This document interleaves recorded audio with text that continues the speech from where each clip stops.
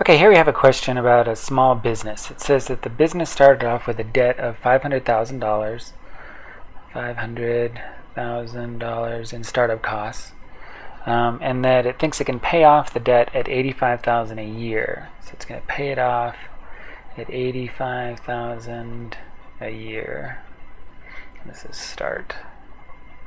And that means that if we were to put in their current debt and let it be y, that we could figure out what y is by taking negative 85,000 times x years plus the 500,000 that they started with, and that would be how much they're currently in debt, right?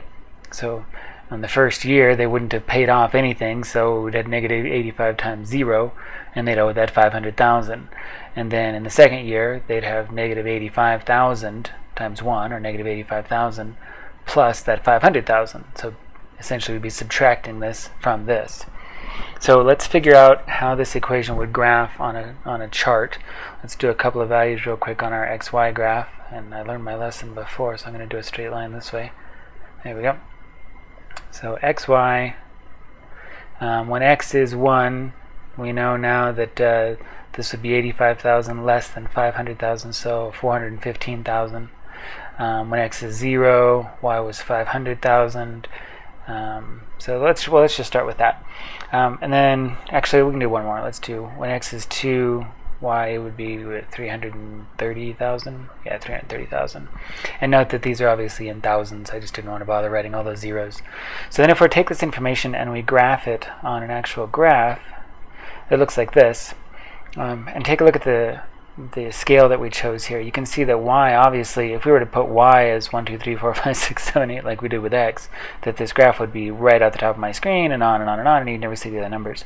Um, so really, if we were to put this on a, a graph that had an even scale, this line would be really, really, really sharply vertical. It would look more like, I mean, if this is our origin, that line would look a lot more like this. I mean, it goes straight up, it would look like, because, I mean, it would have to go way, way, way, way, way up before it could intersect anywhere on that y. So this angle here is a little bit uh, deceiving, so make sure you're, you're aware of that. Um, but if we take a look at the points that we actually plotted, the first year, they haven't paid off anything. I mean, at the beginning of the first year, they haven't paid off anything, so our number of years is zero, and their debt then is 500,000. After three years, they've been paying off at 85,000 a year, so in their third year, their debt is only 250,000 and it looks like they would actually pay off the debt somewhere just before their sixth year, um, at which point their debt goes to zero, and they continue on after that in business without owing any more in that debt.